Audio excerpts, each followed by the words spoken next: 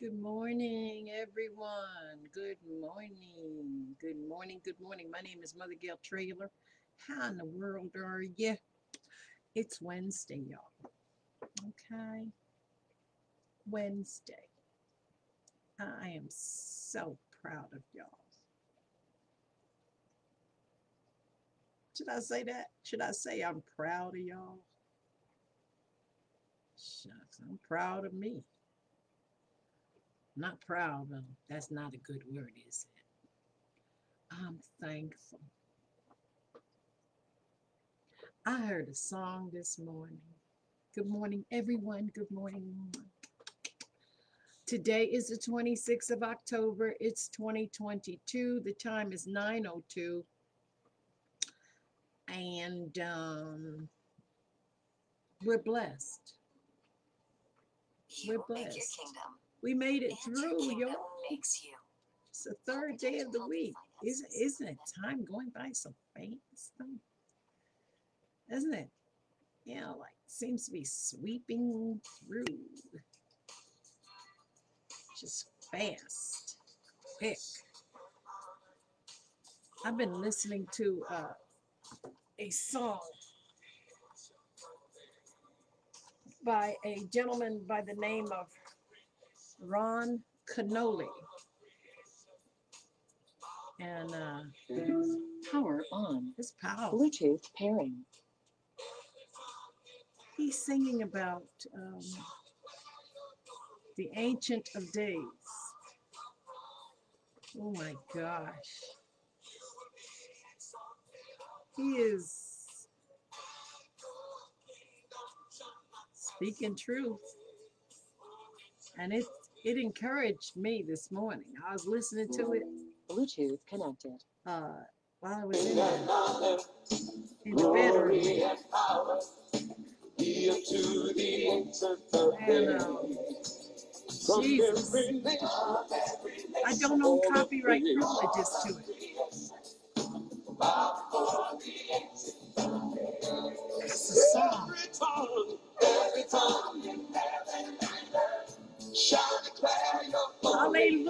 Hallelujah. Makes you want to shout, don't it?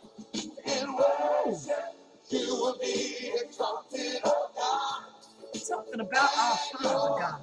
Talking about our Lord and Savior. Talking about our Creator. Our Heavenly Father. Hallelujah to God.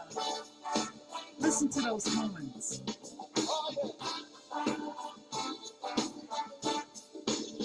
Hear the drums? It don't sound to me like he's crying about anything, do you? You, you think so? No. And he's speaking truth. And I don't own copyright privileges to it. I do own the Bible though.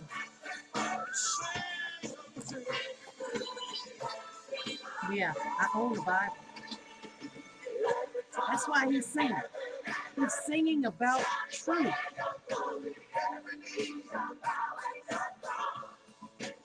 Praise the Lord and good morning, everyone. Good morning, saints of God. Saints here in Tennessee, those up in Kentucky, down Florida, Alabama, Detroit, Michigan, Washington, D.C., Maryland, New York, New Jersey. Good morning to you. Good morning, Africa. Good morning, Japan. Good morning, India. Did you know he created you? I like music. I like strong music. Ron Kenoly is singing about our Maker, our King of Kings, our Lord of Lords. Hallelujah this morning. It's six minutes after nine. And he woke me up to worship.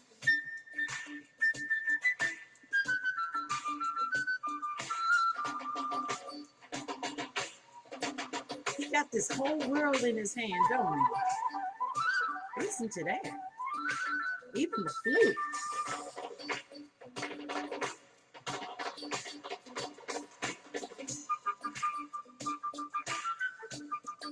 Almighty God. Now, if you think he, the Lord is not listening and doesn't appreciate praise, something's wrong with your thinking. He said, Let everything that hath breath praise the Lord. That's exactly what they're doing with the guitar.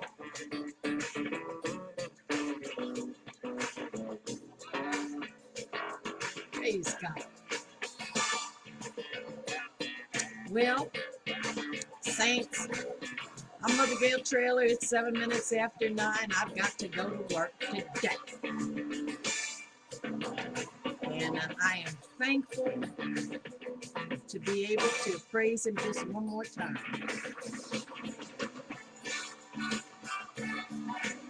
I'm thankful.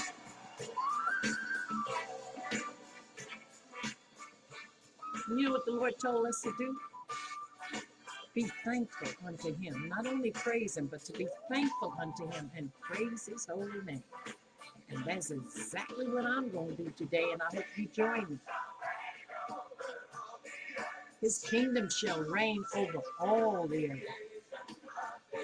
And his kingdom is reigning. You know that? Kingdom is still reigning. We're singing.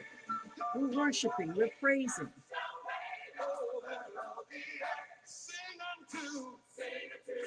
Sing today, y'all. Sing. No matter what you hear, what you see, sing. Put a little song to it. While you're doing them dishes, put a little song. Remember the little songs we earned, uh, learned about years ago? Hmm? Just simple songs. Sing to the ancient of days. Singing, the Lord uh, appreciates our songs. He glories in our praise. He doesn't want to hear our complaints. Yeah, we could fuss and complain, but he never did appreciate uh, the the complaining of the children of Israel back in the day. If you will uh, join me, I will uh, pray right now and give him thanks because he's worthy. He's my heavenly Father. He's worthy. I just not gonna, I'm not gonna stop praising. I don't have everything that I think will make me happy. Those on Medicare could be claiming a spending account card I don't worth up to three thousand three hundred dollars. Everything that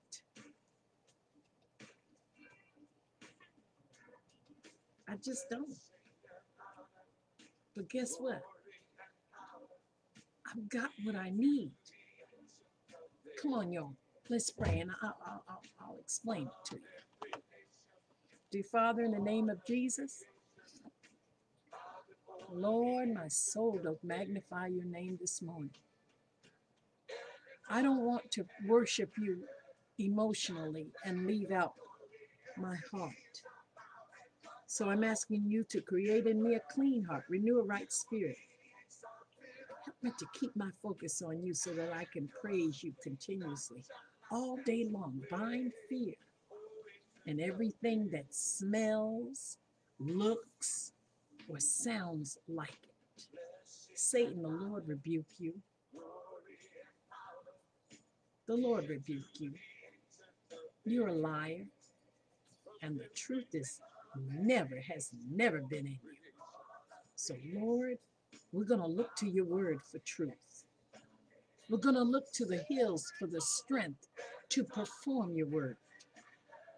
We're going to ask you, Lord Jesus, for blessings today.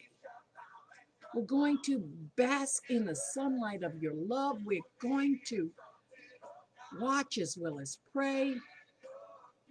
And we're going to hold on to your word because your word is powerful. It's, it's sharper than any two edged sword.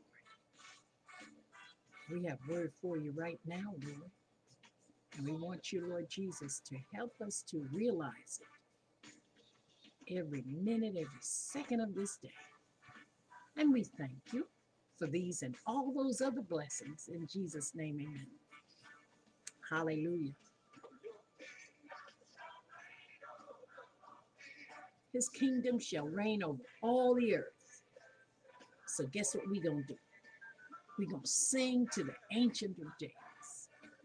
Saint yours.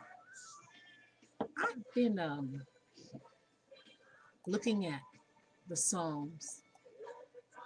Uh, boy, oh boy, I was looking at Psalms 8 this morning, where the Lord talks about David, speaks about what God created and how he put it in the heavenlies and for us to enjoy. And he, he speaks so well of uh, God's creation. And uh, they tell me that the Lord loves to hear the praises of his people. He loves, he delights in our worship. He just, it's, it's, I mean, as a mama, hmm, as a daddy, are any of you, how do y'all feel when your kids say thank you? Huh? How do y'all feel? Oh, mommy, thank you. Oh, mommy, thank you.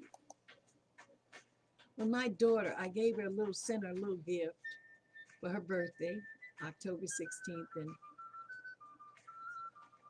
the Lord allowed me to, to, to have memories of her as a child. Now that she's an adult, I'm learning who she is, just as she's learning who she is. And uh, she has her own mind. She has her own ideas. She has her own history that I was not a part of. But she knows and is starting to realize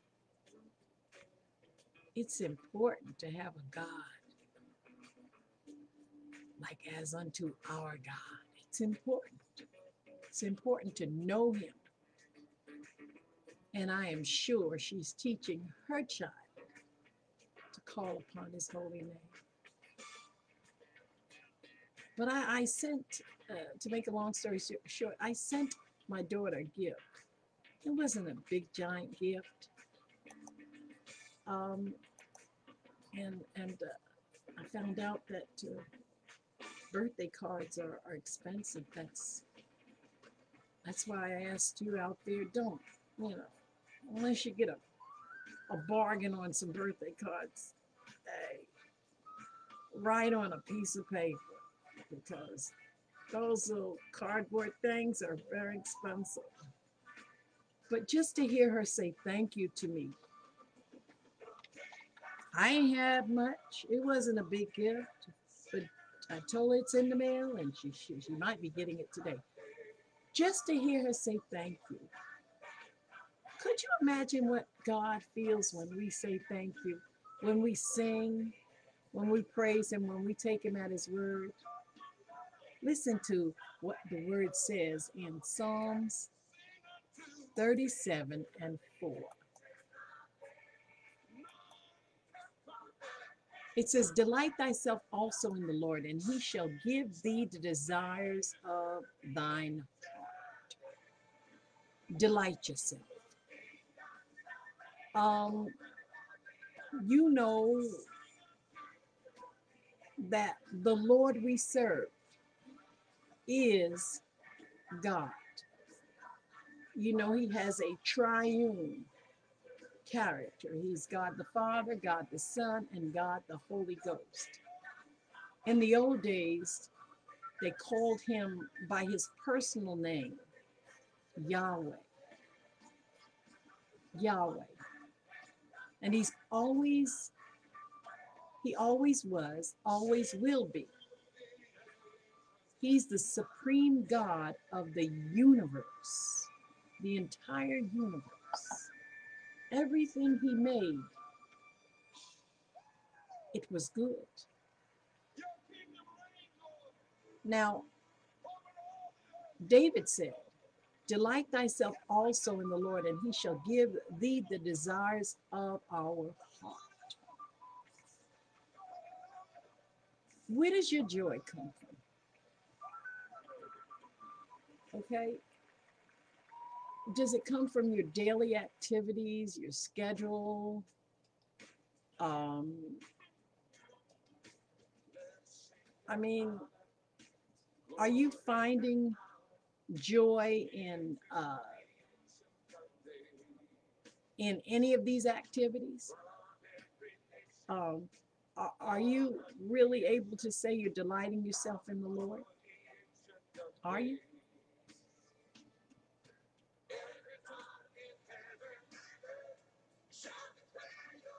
Do you get excited when you uh, it's time to study the Word, or you make it something optional? Is it something that you do only when you have time? Unfortunately for me, I could use some improvement. Okay? How about you? Do you get excited when it's time to open up that Bible and study? There isn't an option? I'll read it, but I don't study it as much as I should. Yet I want. That's why when I get to church, I get, I'm like a baby. I want to be spoon fed. I'm serious. I want you to feed me like a big baby. I'm ashamed. I'm really ashamed. I could I can't get enough of the word when I go to church. Pastor them studied the word and then they feed us.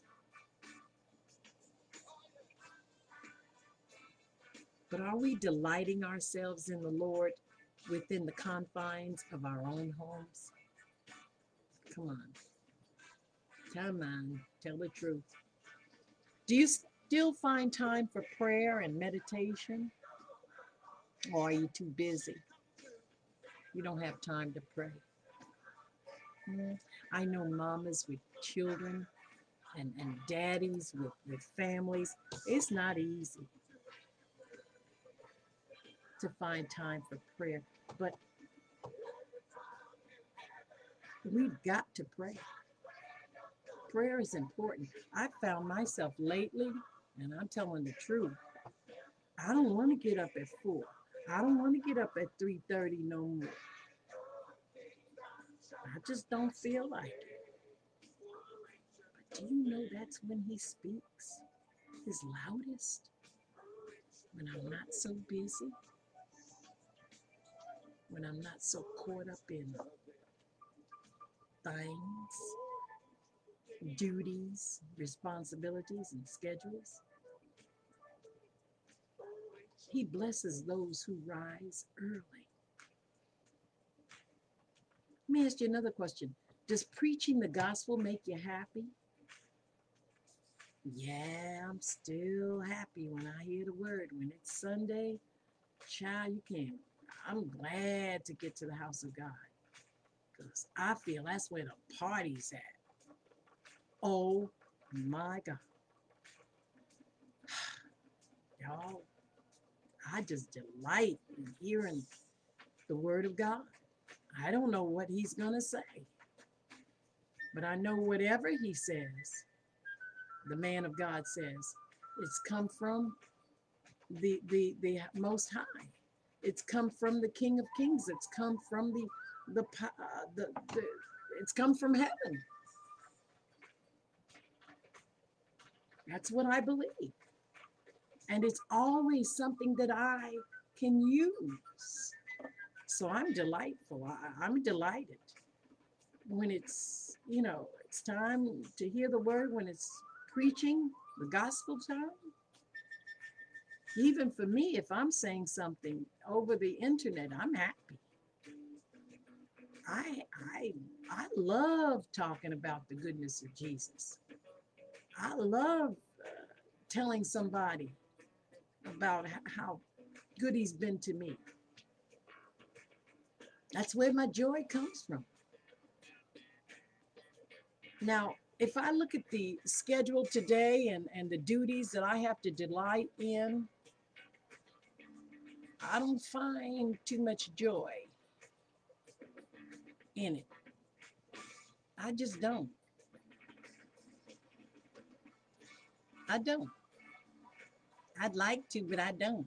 I'll do it as unto God. Now,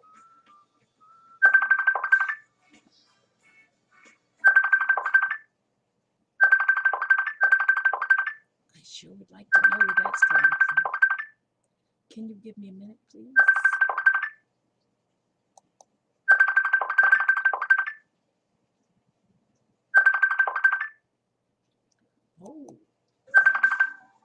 Arthur? I'm gonna decline your call and call you later. I love you. That's my son. It's 9:23 and I'm gonna call him later. But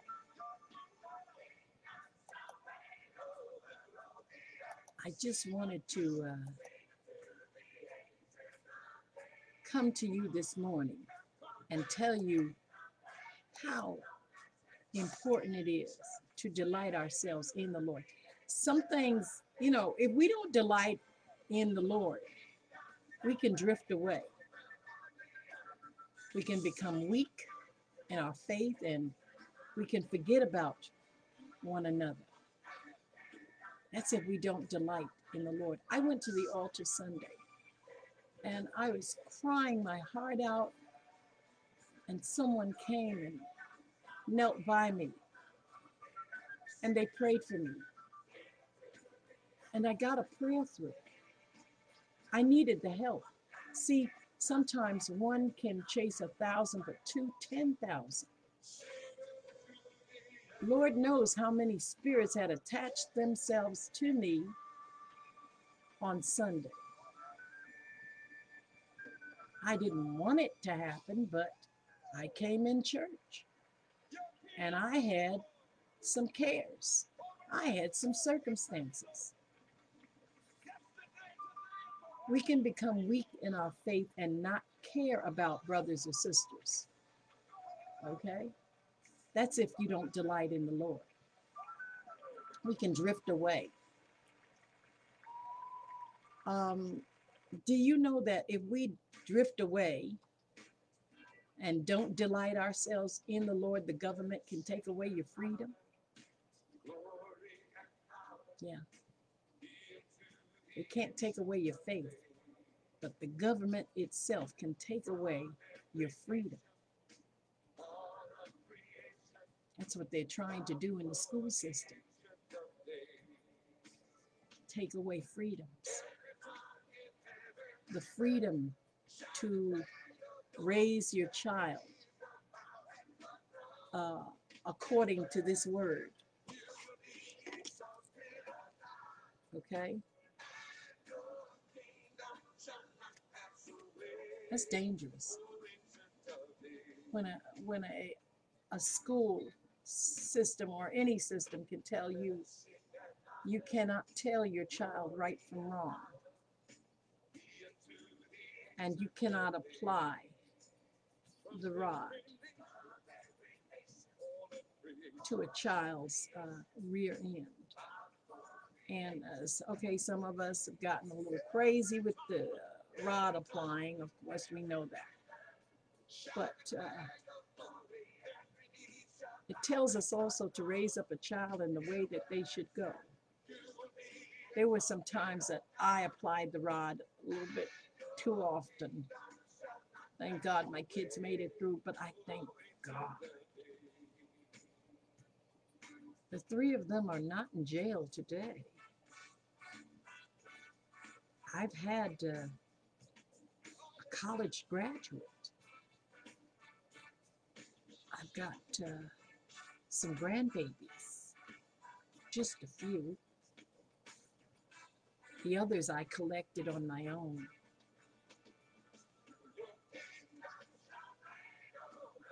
Freedoms. Oh, they can't take your faith though. There's a lot of training going on in the school system. I'm not anti-school, but mm, you train my child and tell my child it's okay to be. Uh, if you feel like a woman today, it's okay. And he is. I know he was born a son. I'm not with that. Or you tell my daughter, feeling kind of strong or masculine. Maybe you're um, you were meant to be a male. Hmm. I'm not into that. Well, how do you delight uh, yourself in the Lord? You might want to ask. Be grateful. We don't have everything we want. No. Uh-uh. But we have many things to be thankful for. Many, many things. Go on, Ron Kenoly. Ancient and day of days. Another thing to uh, delight yourself in the fact that uh, the Lord says, stop the murmuring and the complaining. Okay? Delight yourself into thinking about what you're murmuring and complaining about. Delight yourself in it. Find that kind of delight and kill it. Nip it in the bud. Stop murmuring and complaining. You could be in worse condition than you could ever know. Don't forget 2019 and 2020 and 2021 and right now. Stop the complaining. You don't have everything you want. Some things you want will harm you in the future. Another thing to do while you uh, are delighting yourself in the Lord is realize that God knows what's best. Some of our desires cause us harm in the future. Oh, I wish I had a million dollars. I wish, yes, I do. Boy, oh boy, those who have a zillion dollars got more problems than a little bit. I'm serious. Are they resting at night? I mean, let's face it. A lot of headaches come with uh, great game, you know, great game. I wouldn't mind, uh, you know, I'm, I'm thankful for what I have. But I think I would rather be where God wants me to be so that I can remain humble. Humility is, is something that the Lord can use. If we humble ourselves, He'll lift us up in due time. If we genuinely delight in the Lord, He'll give us the desires of our heart and will eventually help us to align our desires with God's will for us. That's what we have to do. We have to align our desires to be God's will for the, and the purpose of our life. What do you want us to do, Lord? That's what we are, how we are to please the Lord. That's how we delight in Him. Find out what He would have us to do and do it. Hmm. I've heard someone say that um, God wants us to, if you see something to do, do it. That's God's will. Whatever you see that needs to be done, do it. Mhm. Which also includes you washing them the sink full of dishes. Or, or going out and, and, and, and cutting that grass. Sweeping up them leaves. I remember I didn't have any leaves to sweep up. Mhm. I lived in the projects. What you think I would do?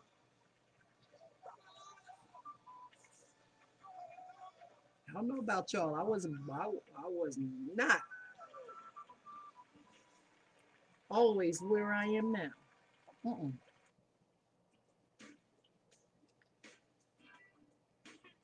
Remember to delight yourself first. And then you get the desires of your heart. The, we got it backwards. We have desires in our heart that we put before the cart. Have you delighted yourself in the Lord? Oh, you say you've been doing it for years? Well, keep doing it. Keep doing it. He knows what's best for us and he will give us the desires of our hearts. But we are to delight ourselves first. My name is Mother Gail Traylor. I love you. God bless you and keep you. Pray for me and I'll pray for you. That's what I'm going to do. And I'm going to sing today. Sing, Ron.